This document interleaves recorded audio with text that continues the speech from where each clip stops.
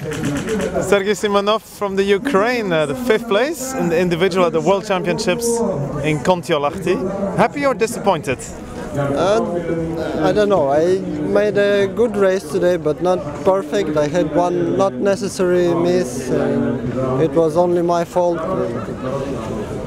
On the one side, uh, I'm glad that I in top six uh, that I could uh, keep my leadership in the individual World Cup, but but I, now I know that I possibly could be in top three, and it's a little bit disappointing.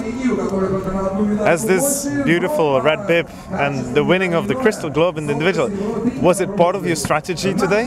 I didn't have any strategy at all. I just uh, wanted to make a good result, good uh, race, clean shoot, and possibly fast run.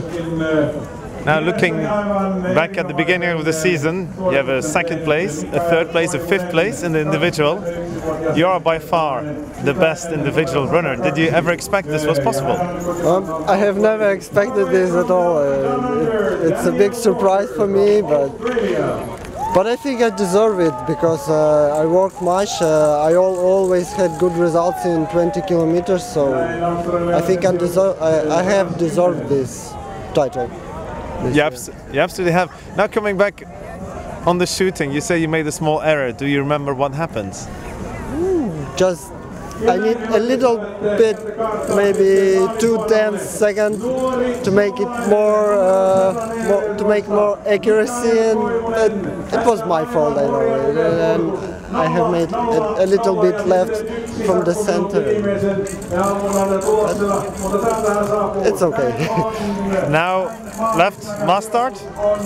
Oh, and really, well, a good shooting can help me there too. So it's it's also a, a, long race, a hard race. So I'm a specialist in this.